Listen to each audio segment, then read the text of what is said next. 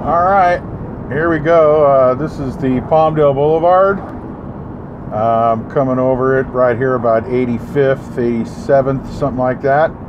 And this is like this because Littlerock Dam is overflowing. This is the only time. uh, What a dick. Did you see that? I got that on film, fucker. He just fully. Wow, what an ass. But uh, whatever. That's, you know, some of those folks are. What do you do? Can't help if they drive a truck for a living.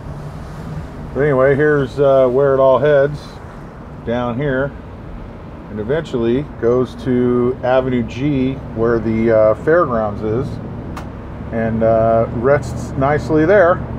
So there you are, your overflow on Palmdale Boulevard at 85th East.